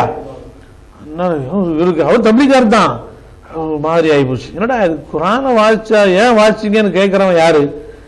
இவன் கார் கூனு பஸ் கூனு அப்படின்னு பல்வேறு விதமான பேர்ல வந்து நிக்கிறானுல அப்படின்னு சொல்லிட்டு யாருப்பா குரான் வாசக்கூடாதுன்னு யாரு சொன்னது? தப்பான அவனு செய்யல இவருக்கு ஒரு பிரஸ்டேஜ் விஷயம் வந்துருச்சு. குரான் தானே வாசிச்சேன் நான் வேற இடத்த வாசிச்சேன். குரலையா வாசிச்சேன்? அப்படிங்கும்போது அப்படினாலும் தப்பு. என்ன அடிப்படையில் தப்புன்னு கேட்டது டில்லி உசூலுக்கு மாற்றம் இருக்கான். அல் உட்காந்துக்கிட்டு டில்லி உசூலுக்கு மாற்றமா? மக்கா மதினாவை சொன்னாலாவது கொஞ்சமாவது ஆஹா மக்காத இமாம் மாலிக்கு சொன்னது போல மாமல அகலில் மதினா ஆ, மக்களுடைய செயல்பாடுகள் அப்படின்னு ஒரு ஆதாரம் சொல்லுவாங்களே அதாவது கொஞ்சமாவது ஒட்டி வரும். என்னன்னு சொன்னா டெல்லி வசூலுக்கு மாட்டோம் அடையுங்க அப்பா டெல்லி கடை ஓட்டிட்டு போறீங்க நீங்க எங்களை? அப்படின்ட்டு அதுல என்ன பண்ணாரு அவரு? மக்களுக்கு மத்தியில தப்லீக் தொகுப்பு பத்தி படிங்க அப்படின்னு சொல்லி விட்டார். விட்டா அவருக்கு என்ன அனுபவிச்சு படிச்சிருப்பாங்களா இல்லையா அவங்க எல்லாம் இருக்கிற வண்டாளங்களை பூரா ஹோபர்ல இருந்து அவர் எடுத்து விட்டார். அதுக்கப்புறம் நம்ம கூட்டங்கள்லாம் அந்த சகோதரர் பேச ஆரம்பிச்சாரு. நிறைய செய்திகளை சொன்னார். அல்ல ஹிதாயத்தை அவர் கொடுத்துட்டான். அப்ப இப்படி தப்லீக் பல்லிகு மட்டும் எடுத்துக்கிட்டாங்க. அடுத்து என்ன இருக்கிறது? அன்னி. என் மூலமாக ஒரு செய்தி இருக்கிறது. என் மூலமாக கிடைக்கிற செய்தியா இருக்கணும். சொல்லாகவோ செயலாகவோ அங்கீகாரமாக இருக்க வேண்டும். அதனை பிறருக்கு சொல்லு அப்படின்னு நபிகள் நாயகம் சல்லாத சொன்னார்கள். முழுமையை இவங்க என்னைக்குமே செய்யறதே இல்லை. பல்லிகை மட்டும் செஞ்சாங்க அண்ணியை விட்டுட்டாங்க. அன்னின்னு சொன்னா அரபில உள்ள அன்னியை சொல்றேன். அன்னி என் மூலமாக என் மூலமாக உங்களுக்கு என்ன கிடைக்கிறதோ அதை நீங்கள் பிறருக்கு சொல்லுங்கள். அதுக்கப்புறம் ஒரு செய்தியை சொல்றாங்க உலவு ஆயா. அது ஒரு செய்தியாக இருந்தாலும் சரிதான். அப்படின்னு விசலாக சொல்றாங்க. ஏன்னா ஒவ்வொருவரும் ஒண்ணுமே தெரியாதவரும் உலகத்துல இல்லை. எல்லாம் தெரிஞ்சவரும் உலகத்துல இல்லை. இல்லையா? எல்லாமே தெரிஞ்சவரும் யாரையும் சொல்ல முடியாது. எல்லாம் தெரிஞ்ச பிறகுதான் நான் வந்து மக்களுக்கு எடுத்து செல்வேன் அப்படிங்கிற முடிவுக்கு ஒருத்தன் வந்தான் அப்படின்னு சொன்னா அவன் கேமத்து வந்துடும் எல்லாத்தையும் எப்படி அவன் தெரிய முடியும்? எல்லாத்தையும் தெரிய முடியுது அப்படின்னு ஒன்றும் சொல்ல முடியாது. மெத்த படித்தவர்கள் என்று யாரையும் சொல்ல முடியாது. அதுக்காக சுத்தமா படிக்காதவனே இருப்பானா அப்படியும் இருக்க முடியாது. ஒரு ஜட்ஜி இருக்கிறாரு. ஜட்ஜுக்கு சட்ட ஒழுக்கங்கள்லாம் தெரியும். ஆனா ஒரு அக்யூஸ்டுக்கு தெரிஞ்ச விஷயம் அவருக்கு தெரியாது. இல்லையா? குற்றம் சுமத்தப்பட்டவன். குற்றம் சுமத்தப்பட்டவன் கொண்டு நிப்பாட்டுறோம். சாட்சி வேலை அது இதெல்லாம் பார்த்து தான் ஒரு முடிவுக்கு வர முடியும். அது இல்லாம அது ஒரு அனுமானமா தான் முடிவு பெற முடியும். ஆனா அக்யூஸ்டுக்கு தெரியும் நம்ம குற்றம் செஞ்சோமா இல்லையா? தப்பு பண்ணோமா இல்லையான்னு அவனுக்கு தெரியும். அவனுக்கு இருக்கிற நாலேஜ் யாருக்கு இல்ல? ஜட்ஜிக்கு இல்ல. அப்ப ஜட்ஜிக்கு இவனுக்கு இருக்கிற நாலேஜ் விட அதிகமா இருக்கும் இவனுக்கு இருக்கிற அந்த அக்யூஸ்ட் குற்றம் சுமத்தப்பட்டவனை விட அதிகமான நாலேஜ் இருக்கவனுக்கு அவனுக்கு அவனுக்கு சட்டத்தை பற்றிய நுணுக்கங்கள்லாம் அவனுக்கு தெரியும். ஆனாலும் கூட இவனுக்கு தெரிஞ்ச விஷயம் அவனுக்கு தெரியல. அப்ப எதுவுமே தெரியாதவன்னு யாரும் கிடையாது. எல்லாமே தெரிஞ்சவங்க யாரும் கிடையாது. உனக்கு ஒரு செய்தி தெரியுமா? என்னை பத்தி பிறருக்கு சொல். என்று பெருமானார் ஸல்லல்லாஹு அலுவலம் அவர்கள் சொன்ன அந்த செய்தியை நாம வந்து ஏற்றுக்கொண்டு பிறருக்கு எடுத்து சொல்லக்கூடிய பக்குவத்தை ஒரு அந்த ஒரு ப- படிப்பினையை நோன்பு நமக்கு தருகிறது. நோன்பாளி அப்படின்னு சொன்னா நாம வந்து பெரிய அளவில் போர்டு போட்டு நான் நோன்பாளி அப்படின்னு பராக எழுதி வைக்க வேண்டிய அவசியம் இல்லை. நம்முடைய நடத்தை நம்முடைய செயல்பாடுகள் நாம பக்குவமாக பண்பாட்டோடு இருப்பது அத்தகைய ஒரு தன்மையை தருகிறது. அது யூசுப் அலி இஸ்லாமுடைய வரலாற்றை நம்ம பார்க்கலாம். யூசுப் அலி இஸ்லாத்து வலாம் அவர்கள் சிறையில் இருக்கும்போது அவர்களோடு இரண்டு கைதிகள் இருந்தாங்க. அந்த ரெண்டு கைதிகளும் ரெண்டு பேரும் கனவு கண்டார்கள். கனவு கண்டுட்டு இந்த கனவுக்கான விளக்கத்தை போய் யூசுப் அலி சாத்து போய் கேட்டாங்க. ஏன் யூசுப் அலி சாத்து போய் கேட்டாங்க? யூசுப் அலி போர்டா போட்டிருக்கிறாங்க. கனவின் கனவுக்கு விளக்கம் சொல்லப்படும். அப்படின்னு போர்டு போட்டிருக்கிறாங்களா? அப்படி ஒன்றும் இல்லை. சில பேர் சமூகத்தை ஏமாத்துறதுக்காக வேண்டிய அப்படிலாம் செய்வோம் சில இடங்கள்ல பாத்தீங்கன்னா நிலத்தடி நீர் நிபுணர்னு போர்டு போட்டிருப்பான். சொல்லலாம் நிலத்தடி நீர் நிபுணர்னா என்ன? நிலத்தடியில நீரோட்டம் என்ன இருக்குதுங்கிறத கண்டுபிடிக்கிறவர். அப்படிதான் எங்க ஊர்ல பள்ளிவாசல் கட்டுறதுக்காக நிலத்தடி நீர் நிபுணர் கூட்டு வாங்க சொல்லி கூப்பிட்டு வந்தாச்சு. கூப்பிட்டு போனா ஒரு சேவல் ஒரு சீப்பு வாழைப்பழம் கொஞ்சம் ஊதுபத்தி கொஞ்சம் பூவு ஒரு எலுமிச்சப்பழம் இதெல்லாம் வாங்கி வச்சுட்டு நான் வரேன் அப்படின்னு சொல்லி அனுப்பிட்டான். போய் கூப்பிட வந்து சொன்னான் அந்த மாதிரி சொல்லியிருக்கிறாரு வாங்கிட்டு வந்துடவா என்னன்னு கேட்டான். ஆளை முதல்ல வர சொல்லி அப்புறம் பார்த்துக்குருவோம். ஆள் வந்தா எங்க கோழி எங்க என்ன அங்க வா இருக்குப்பா கோழி? பார்த்துட்டு இடத்துல எந்த இடத்துல நீரோட்டம் அதிகமா இருக்குன்னு சொல்லிட்டு போ அப்படின்னா ரத்த குறி காட்டி பூஜை பண்ணாதான் அது நடக்கும் அப்படின்னா. பூஜை பண்ணாதான் இதை கண்டுபிடிக்க முடியும்னு சொன்னா இந்த இடத்துல பள்ளிவாசம் கட்ட மாட்டேன். பள்ளிவாசம் கட்ட போறோம் அந்த இடத்துல. இந்த இடத்துல பள்ளிவாசம் கட்ட போறோம் கோயிலே கட்டிடுவேன். ஏன்? பூஜை பண்ணாதான் நடக்கும் அப்படின்னு சொன்னான் இங்க அந்த ரகசியம் எனக்கு தெரியும். அப்படின்னு ரகசியத்தை அவன்கிட்ட சொன்னேன். இதானப்பா அப்படின்னு. பாய் வேற யார்ட்டையும் சொல்லியாதீங்க பாய். நான் போர்டு போட்டுக்கிறேன் பாய். தயவு செய்து ஒரு பாய் அப்படின்னா. ஓகே கண்டுபிடிச்சிட்டு போ. ஒரு இடத்துக்கு மூணு இடம் கண்டுபிடிச்சு போ. சொல்லிட்டு பாய் யார்ட்டையும் சொல்லாம இருங்க பாய். எனக்கு இருபத்தஞ்சு ரூபா தாங்க பாய். போதும் பாய் நான். கையில கொடுத்து அனுப்பியாச்சு. அவருக்கு சேவல் வேணுமா? பூ வேணுமா? எலுமிச்சை பழம் வேணுமா? ஊதுபத்தி வேணுமா? ஒரு சீப்பு பழம் வேணுமா? பாருங்க இப்படிலாம் ஏமாத்துறாங்க. இல்லையா? அந்த மாதிரியா அவர் பண்ணாரு. அப்படி ஒண்ணும் பண்ணலை. யூசுப் அலி சலாத்து இஸ்லாம் அவர்கள் போர்டு ஒன்றும் போடல. என்ன சொல்றாங்க அந்த ரெண்டு பேரும்? இல்லா நராக்க மினல் முஹ்சினின். நீங்கள் உபகாரிகளை போல தோன்றுகிறது. நீ உபகாரம் செய்யற ஆள் மாதிரி எங்களுக்கு தெரியும். உங்களுடைய- நடவுடைய பாவனை நாங்க பார்க்கிறோம். அதுல இருந்து உங்களை நாங்க ஒரு உயர்ந்த மனிதர். நீங்க உபகாரம் செய்வீங்க. ஒரு நல்ல மனுஷன் அப்படிங்கிறது எங்களுக்கு தெரியுது என்று அவர்கள் அவருடைய நடைமுறை பாவனைகளை பார்த்து விட்டு முடிவு செய்து விட்டு கேட்கிறார் சொல்லித்தாங்க. கனவுக்கு விளக்கம் சொல்லுங்க. என்னப்பா அவன் கனவு? சொல்லு. ஒருத்தர் ஒரு கனவு சொல்றாரு இன்னொருத்தர் இன்னொரு கனவு சொல்றாரு. சுருக்கமா நான் சொல்லிட்டு போறேன். ரெண்டு கனவு சொல்லப்பட்ட உடனே யூசுப் அலி இஸ்லாத்து இஸ்லாம் என்ன சொல்கிறார்கள் அப்படியா? சரி உங்களுடைய கனவை நீங்க சொல்லிட்டீங்க. அதற்கான விளக்கத்தை நான் உங்களுக்கு சொல்றேன் அப்படின்னு சொல்லிட்டு ஒரு உறுதி அளிக்கிறாங்க. லா எத்தியானிக்குமா தாமுன் துருசகானிகி இல்லா நப்பத்துக்குமா பி தாவீலி பி தாவீலிஹி இந்த கபல ஏத்தியக்குமா உணவு வருவதற்கு முன்னாடி சிறைச்சாலையில் உணவு வருவதற்கு முன்னாடி உங்களுடைய கனவுக்கான விளக்கத்தை நான் சொல்லிடுறேன். அப்படின்னு யூஸ்வலா தான் சொன்னாங்க. அப்பவே மணி அடிச்சு தான் சாப்பாடு கொடுத்துருக்காங்க போல. எனக்கு டைம் தெரியுது இல்ல அந்த டைமுக்கு முன்னாடி உங்களுக்கு இதை கொடுத்துருவேன். அப்படின்னா எப்ப சொல்ல முடியும்? அந்த நேரத்தை அவர்கள் தெரிஞ்சிருந்தா தான் சொல்ல முடியும். அப்ப அர யூசுப் அலி இஸ்லாம் அவர்கள் சொல்லுகிறார்கள். சொல்லிட்டு விளக்கம் நான் சொல்றேன் அப்படின்னு சொல்லிட்டு அதுக்கப்புறம் என்ன சொன்னாங்க பாருங்க? தாலிக்குமா மிம்மா அல்லமணி ரப்பி. நான் உங்களுக்கு சொல்ல போற விளக்கு இருக்கு பாத்தீங்களா? அது என்னுடைய ரப்பிடம் வந்தது. அதாங்க மெயினான விஷயம். அவன் விளக்கம் கேட்க வர்றான் நீ நல்ல மனுஷன் மாதிரி தெரியுது நீ உபகாரம் செய்யற ஆள் மாதிரி தெரியுதுப்பா. எங்க ரெண்டு பேரும் நாங்க ரெண்டு பேரும் விளக்கம் கேட்டு வந்து வந்திருக்கிறோம். சொல்லுங்க அப்படின்னா சாப்பாட்டுக்கு முந்தைய நான் சொல்லிடுறேன்பா. ஆனா இந்த விளக்கம் எங்கிருந்து வந்தது? என்னுடைய ரப்பிடம் இருந்து வந்ததுன்னு ஒரு செய்தியை சொல்றாங்க ரப்பை பத்தி கேட்க அவங்க வரல. அல்லா சொல்றான்ல உயிர் நகது மினல் முஷ்ரிக்கி நஸ்தஜாரக்க ஒரு முஷ்ரிக்கில ஒருத்த அவன் பிரச்சனை ஏதோ சண்டை சச்சரவு அவனுக்குள்ள ஓடி வந்து உன்னிடத்துல தஞ்சம் கேட்கிறான்.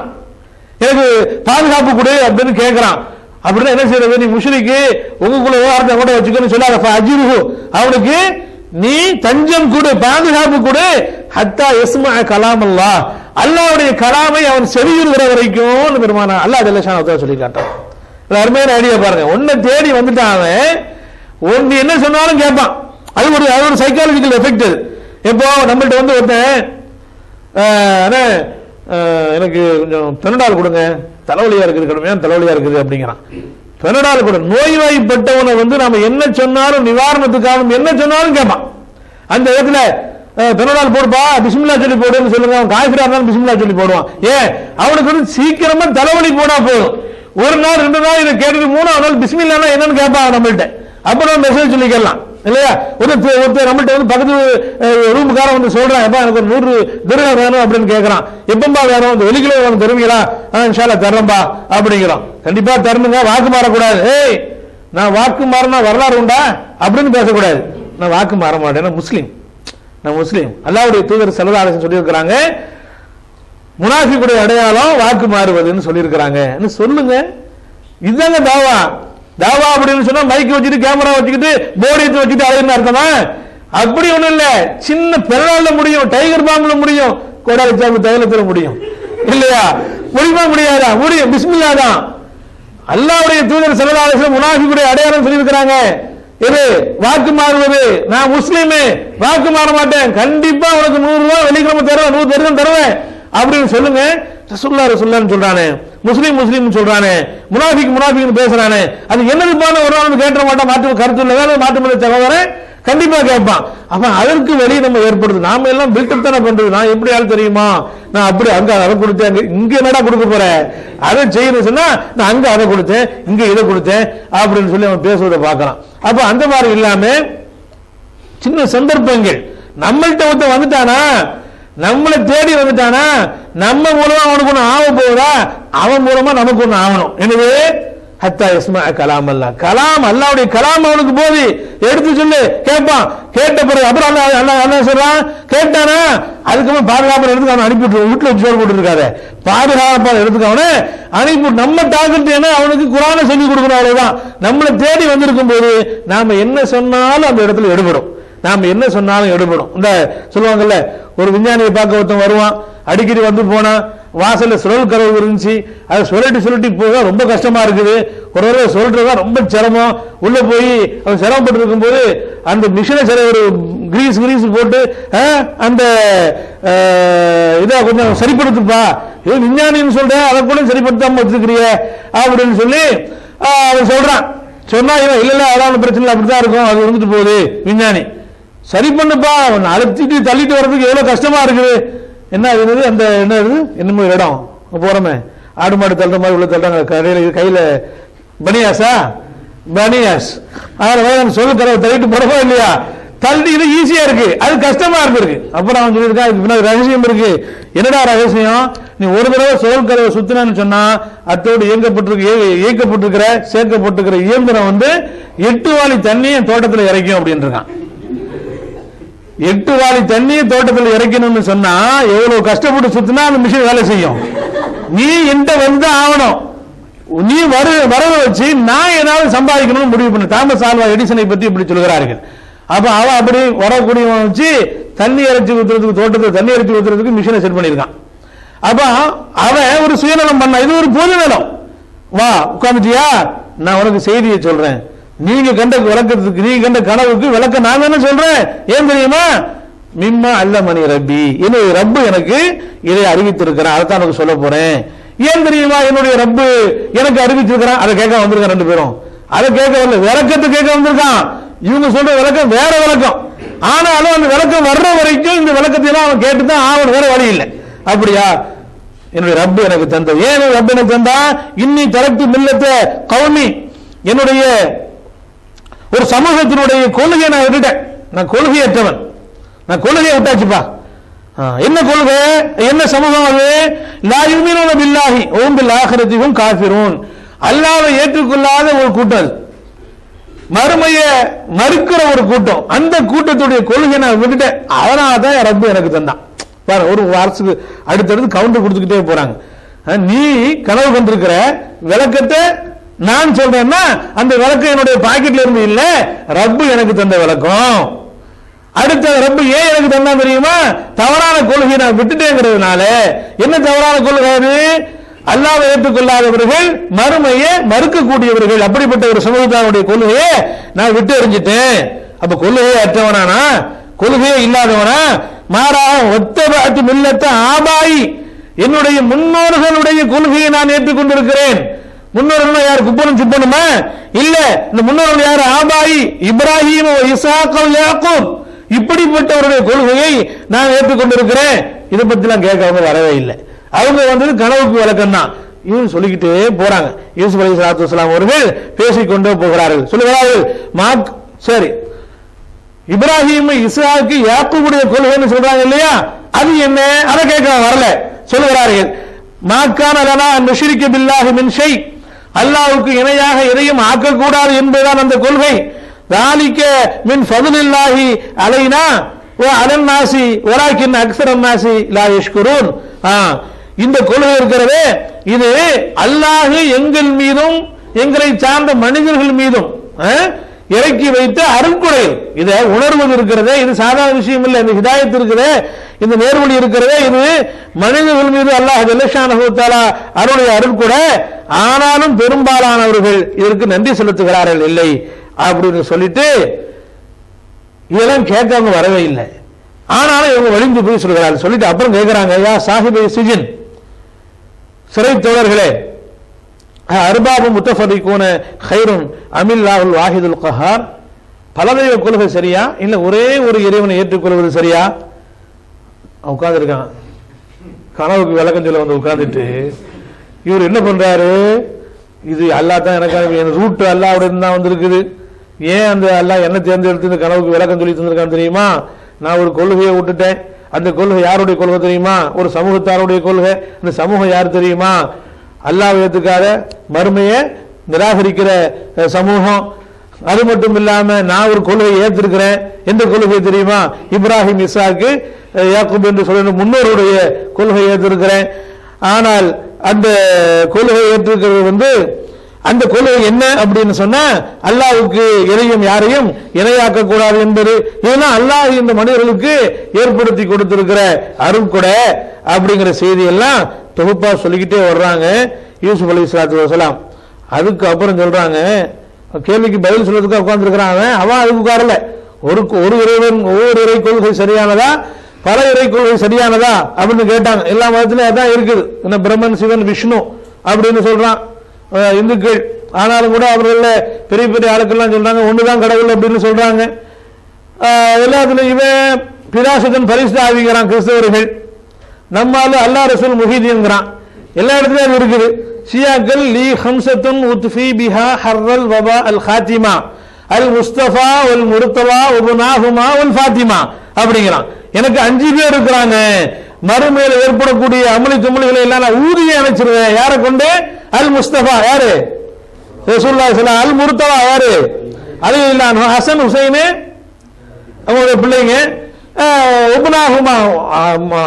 ஃபாத்திமாவை லாஸ்ட்ல கொண்டு போயிட்டான். இந்த ரைம் சரியா அமையணுங்கிறதுக்காக வேண்டி. சரியா? அல் முஸ்தபா ஒல் முருத்தலா உபனாகுமா ஒல் ஃபாத்திமா. அலிக்கு பக்கத்தில் ஃபாத்திமா கொண்டு வந்துருக்கணும்ல? கொண்டு வராம பின்னாடி கொண்டு போயிட்டான். ஆக இந்த அஞ்சு பேர் எனக்கு போதும். அவங்கள கொண்டு வந்து மறுமையில எல்லா விஷயங்களையும் நான் அடிச்சு நொறுக்கிட்டு வந்துடுவேன். அப்படிங்கிற அல்லாஹ் மட்டும் விட்டுட்டு மற்ற எல்லாரையும் சேர்த்துருக்கலாம் அப்ப இந்த மாதிரியான கொள்கையில அவர்கள் இருக்கிறார்கள். ஆக பரதெய்வ கொள்கைங்கிறது வந்து சர்வ சாதாரணமாக எல்லாருக்குமே இருப்பதை பார்க்கிறோம். காசை தான் கடவுளை பார்க்கிறான் இவன். இல்லையா? செய்யும் தொழிலே தெய்வங்கிறான் அவன். இப்படி அன்னையும் பிதாவும் முன்னறி தெய்வங்கிறான் இன்னொருத்தன். மாதா பிதா குரு தெய்வங்கிறான் இன்னொருத்தன். எழுத்தறிவித்தவன் இறைவன்கிறான் இன்னொருத்தன். இப்படி பல்வேறு விதமான கடவுள் கொள்கையில மக்கள் தத்தளித்துக் கொண்டிருக்கிறார்கள். இவங்க அந்த மக்கள்கிட்ட கேட்கிறாங்க ரெண்டு பேர்கிட்டையும் ஒரு இறைவன் சரியா பல இறைவன் சரியா? மா தஅபுதூன மின் தூனிஹி இல்லா அஸ்மான் சம்மைத்துமுஹா அன்தும் ஆபாவுக்கும். அவன் அப்படியே யோசனை பண்ணிட்டே இருக்கிறான். கனவுக்கு விளக்கம் சொல்லி கேட்டா இந்த ஆள் கடவுள் வரைக்கும் ஓட்டிட்டாரு. அப்படின்னு போக முடியாது. எங்க போக முடியும்? ஒண்ணு இன்னொன்னு அவர் சொன்னாதான் விளக்கம். வேற யார்ட்டையும் என்ன ஆன்லைன் பீஜில கேட்க முடியும் கனவு பிறக்கும் முடியாது. என்ன பண்ணிட்டான்? கேட்டே இருக்கான். சொல்லு. சரி அப்பா நீ வேற ஓட்டுமா ஓட்டு. கேட்டே இருக்கிறான். கடைசியில அவனுக்கு ஒரு சந்தேகம் வருமா இல்லையா? ஓரிரை கொள்கை சரியா பல இறை கொள்கை சரியான்னு கேட்ட உடனே பல இறை கொள்கை தான் நம்ம வழக்கத்தில் இருக்குதுன்னு அவன் நினைச்சிருப்பான். அதுக்கு ஒரு கவுண்டர் கொடுக்குறாங்க பாருங்க. யா சாஹிபைய செஜின். மா தபூதும் மின் தூணிங்க அல்லாவை விட்டுட்டு நீங்க பல தெய்வங்களை வணங்குறீங்களப்பா. அல்லாவை விட்டுட்டு நீ பல தெய்வங்களை வணங்குறீங்களப்பா இந்த பல தெய்வ கொள்கை இருக்குதே அது என்ன நினைக்கிறீங்க? இல்லா அஸ்மான் சம்மைத்து மூக அந்தும் ஆபாவுக்கும் நீங்களும் உங்களுடைய மூதாதையர்களும் வச்ச பேரு தான் பேரு தான் பல வச்சுட்டீங்க. இல்லையா? பேர் தான் முத்தொழில். படைத்தல் காத்தல் அழித்தல். அப்படிங்கிற மூன்று தொழிலையும் உடையவன் இறைவன் அப்படின்னு சொல்லுவாங்க. இந்த மூன்று தொழிலுக்கும் ஒரே இறைவனா இருக்கிறான். ஒரே இறைவன் மூணு எப்படி செய்யறான்? அப்படின்னு பாமரர்கள் சந்தேகப்படுகிறாருங்கிறதுக்காக வேண்டி அந்த பாமரர்களுக்கு விளக்குவதற்காக வேண்டி நாங்கள் மூணு தெய்வம் ஆக்கிட்டோம். ஒரு தெய்வம் படைக்குது இன்னொரு தெய்வம் காக்குது மூணாவது தெய்வம் அழிக்குது. அதனால தான் அழிக்கிற தெய்வம் விஷ்ணுங்கிறதுனால தான் பெரும்பாலான இடங்களில் விஷ்ணு கோயில் இருக்கிறது இல்லை அப்படின்னு அவன் சொல்றான். விஷ்ணு கோயில் ரொம்ப ரேரா தான் இருக்கும். அழிக்கிறவனை போய் ஏன் வணங்குவானே? அப்படி. நீங்க தான் யாரையும் விட்டது இல்லையே சனி பகவானையும் சேர்ந்து வணங்குறீங்களப்பா அப்படின்னு நமக்கு சொல்ல வேண்டி இருக்குது அப்ப இந்த மாதிரி இருக்கிற போது பல தெய்வம் அப்படிங்கிற நீங்க பேர் தானே வேற வச்சிருக்கிறீங்க. ஆனா கடவுள் ஒண்ணுதான். ஆதி பகவன் முதற்றே உலகுங்கிறது தான் கடவுள். அதை தவிர வேற ஒண்ணும் அதே சில பேர் அல்லாஹ் என்பது சூட்சமா சொல்லியிருக்கிறான்னு சொல்றாங்க. அகர முதல்ல எழுத்தெல்லாம் ஆதி பகவன் முதற்று உலகு. முதல்ல இல்லா கடைசியில் ஹு. அதே வள்ளுவர் அப்படி செட் பண்ணி இருக்கிறாரு என்று சில பேர் சொல்றாங்க. சரி அது ஒரு பக்கம் இருக்கட்டும். ஆக அல்லாஹ் ஜல்லஷானஹுத்தாலா ஒருவன் தான் அவனுக்கு பல பெயர்களை நீங்கள் சூட்டி பல தெய்வங்களாக கருதுகிறீர்கள். ஒரே ஒரு பெண் ஒருவனுக்கு தாயாக இன்னொருவனுக்கு தங்கையாக இன்னொருவனுக்கு அவன் சகோதரியாக மனைவியாக இருக்கிறாள். ஒரே ஒரு பெண் தானே. ஒரு பெண் மூணு உறவுல இருக்கிறான் மனைவியா இருக்கிறா தாயா இருக்கிறா சகோதரியா இருக்கிறா. பெண் ஒருத்தி தான் அவர் உறவால் பல. அதே மாதிரி தொழிலால் பல என்று நாங்கள் கருதுகிறோம். கடவுள் ஒருவன் தான் அது இது அவன் இவன் அவள் இவள் என்கிற சுற்றுப்பேரலுக்கு அப்பாற்பட்ட ஒரு கான்சியஸ் ஒரு பரம்பொருள் இருக்கிறது. அதுதான் கடவுள் என்பதாக அவர்கள் சொல்லுவதை நாம் பார்க்கிறோம். அப்போ அந்த ஒரு இறைவனை தான் நீங்க வணங்குறீங்கப்பா.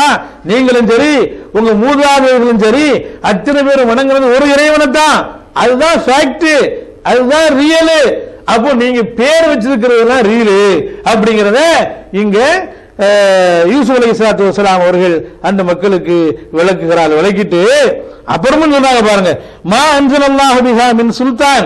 இதற்கு அல்லாஹ் எந்த ஆதாரத்தை இறக்கி வைக்கவே இல்லை. அல்லாவை விடுத்து விட்டு வேறு வேறு பேர்கள்ல வேறு வேறு கடவுள்களை ஏற்றுக்கொள்வதற்கு அல்லாஹ் எந்த அனுமதியும் உங்களுக்கு தரவே இல்லை அப்படின்னு சொல்லிட்டு இதில் ஹுக்கும் இல்லால் இல்ல அல்லாவை தவிர வேறு யாருக்கும் ஆட்சி அதிகாரம் இல்லை. அவர அல்லாஹ் தேபது இல்லா ஐயாகு அவனை தவிர வேறு யாரையும் வணங்கக்கூடாது என்று அவன் ஏவி இருக்கிறான் தாலிக்க தீனுல் கையும். இதுதான் நிலையான மார்க்கமாக இருக்கிறது. உலாக்கின் அக்சரம் நாசிலா ஏலமோன் ஆனாலும் பெரும்பாலானவர்கள் விளங்கிக் கொள்வதில்லை. முடிச்சாச்சு. தாவா முடிஞ்சு போச்சு.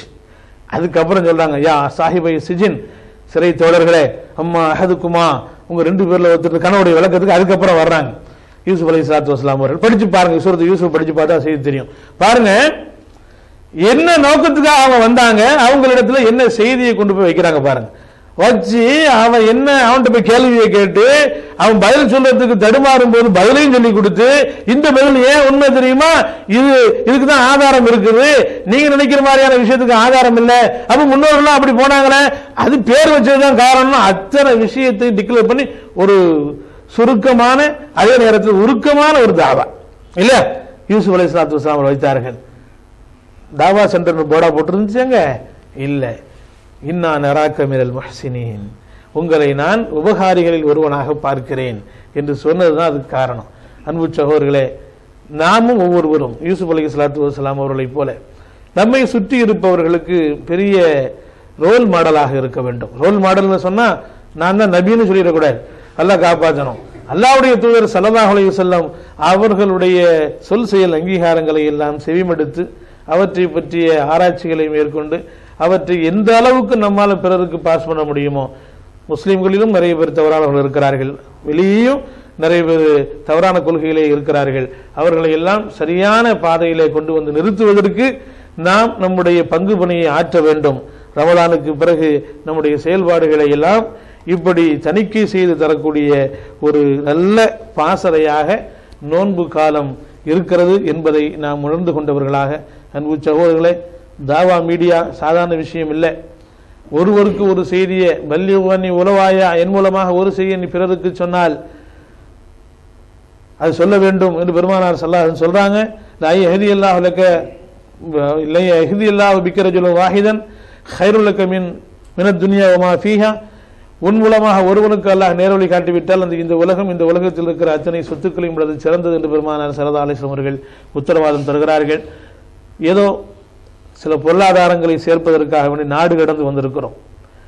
நம்முடைய பொருளாதாரம் மட்டும்தான் பொருளா தாரம் என்று கேட்கப்படுகிற அளவுக்கு தாரங்களை எல்லாம் விட்டு விட்டு இங்கே வந்து இவ்வளவு கஷ்டங்கள் இவ்வளவு நஷ்டங்கள் சிரமங்கள் இவைகள் எல்லாம் அனுபவித்துக் கொண்டிருக்கிறோம்.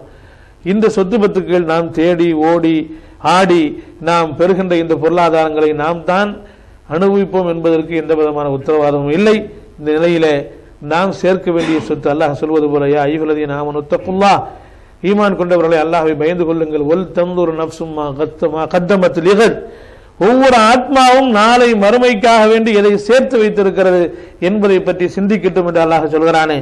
என்ன சேர்த்து வைத்திருக்கிறோம்? இந்த உலகத்தில் நிலம் வாங்கியிருப்போம் வீடு கட்டியிருப்போம் சொத்து வாங்கியிருப்போம். இன்னும் பிற பொருளாதாரங்களை எல்லாம் வேற வேற இதில் கொண்டு போய் இன்வெஸ்ட் பண்ணியிருப்போம். கூட்டா செஞ்சிருப்போம் தனியா செஞ்சிருப்போம். என்னெல்லாமோ இந்த உலகத்தில் நடந்திருக்கும். ஆனால் மறுமைக்காக நாம் என்ன செய்திருக்கிறோம்? அதற்காக செய்கிறது ஒரு பைசா செலவில்லாமல் செய்யக்கூடிய வாய்ப்பை அல்லாஹ் ஜல்லஷானஹுத்தாலா நன்மை பிறருக்கு சொல்வதன் மூலமாக நமக்கு தருகிறான். ஒரு செய்தி கிடைச்சாலும் பிறருக்கு சொல்ல அவர் பிறருக்கு சொல்ல அவர் பிறருக்கு சொல்ல நாம் மரணித்து விட்ட பிறகும் கூட ராயல்டியாக யாரும் நம்மை தடுக்காமல் யாரும் நமக்கும் அந்த ராயல்டிக்கும் இடையில தடுப்பு ஏற்படுத்தாத வகையில அல்லாஹ் ஜல்லஷானஹுத்தாலா தொடர்ந்து தந்து கொண்டிருக்க வேண்டுமா? நாம் ஆச்சரியப்படணுமா மறுமையில? எல்லாரும் இவ்வளவு நன்மைகள் நான் உலகத்தில் செஞ்சது எனக்கு தெரியாதுன்னு சொல்லும்போது நீ செஞ்சது ஒண்ணுதான். பிறருக்கு எடுத்து சொன்னாய் இதன் மூலமா எத்தனையோ பேர் நேர்வழி வந்தாரே அந்த நன்மையெல்லாம் உனக்கு சொல்லும் போது நமக்கு ஆச்சரியமா இருக்கும். இவ்வளவு குறைந்த ஆயுள் இவ்வளவு நன்மைகளுக்கு நாம் சொந்தக்காரர்களா? நம்ம கொடுக்கப்படுகிற ஆயுள். ஆமார் உம்மத்தி மாபைன சித்திரையிலா சபையும் தானே? நம்முடைய சராசரி ஆயுட்காலம் என்ன? அறுபதிலிருந்து எழுபது தான் கல்லமா எத்தஜாவது தாலிக். இதை கடந்து போறவர்கள் மிக சொற்பம் என்று பெருமானார் சல்லா சொன்னார்களே. இவ்வளவு சொற்ப ஆயுள்ள அதிகமான நன்மைகளை நாம் அடைய வேண்டுமா? அரஃபா நோன்பு நோற்காத மக்களுக்கு மத்தியில் போய் அரஃபா நோன்பு நோட்டுருக்கப்பா அப்படின்னு சொல்லுங்க. அவன் நாலு பேருக்கு சொல்லுவான் அவன் குடும்பத்துக்கு சொல்லுவான் ஊருக்கு ஃபோன் பண்ணி சொல்லுவான் அக்கம் பக்கத்தில் சொல்லுவான். யார் யாரெல்லாம் நோன்பு வைப்பாங்க? நாம வைக்கிற நோன்பு ஒண்ணு. அதுக்குள்ள நோன்பு நமக்கு கிடைப்பது போல. யாருக்கெல்லாம் நோன்பு வைக்க வேண்டும் என்று நம் மூலமாக இந்த மெசேஜ் போச்சோ? அத்தனை பேரும் நோன்பு வைப்பான். அத்தனை பேருடைய நோன்புடைய நன்மை அல்ல அவனுக்கு கொடுப்பதோட நமக்கும் தருவான்னு சொன்னா இது எவ்வளவு பெரிய காப்பீடு? இது எவ்வளவு பெரிய உயர்ந்த அந்தஸ்து என்பதை எண்ணி பார்க்க வேண்டும் அன்பு சகோதரர்களே. எனவே தாவாங்கிறது சாதாரண விஷயம் இல்லை. தாவா என்பது சாதாரண அம்சம் இல்லை. அது நம்மில் ஒவ்வொரு குல்லுக்கும் ராயின் குல்லுக்கும் மசூலன் என்ற ஐயத்திகி உங்களில் ஒவ்வொருவரும் பொறுப்புதாரிகள் பொறுப்பு பற்றி விசாரிக்கப்படுவீர்கள் அப்படின்னு அல்லாஹ் அல்லாவுடைய தூதர் சல்லாஹம் சொல்கிறார்கள். எனவே அன்பு சகோ- முடிச்சிடறேன் அன்பு சகோதரர்களே ரமதானுக்கு பிறகு நாம் பெற்ற இந்த பயிற்சியை வெளிப்படுத்துவதற்கான வாய்ப்பு இருக்கிறது. அந்த களம் ரமலான் பயிற்சி களம் ரமலானுக்கு பிறகு இருக்கிற அந்த காலம் நம்முடைய இந்த பயிற்சியை வெளிப்படுத்துகின்ற முயற்சி காலம் என்பதை நாம் புரிந்து கொள்ள வேண்டும். இல்லாமல் அல்லாஹ் ஜல்லஷானு ஹூத்தாலா அப்படிப்பட்ட சிந்தனை தெரிவி நம் அனைவருக்கும் தந்தல்வானாக வாஹிருதாவானா அனில் அஹமதுல்லாஹி ரபில் ஆலமீன்.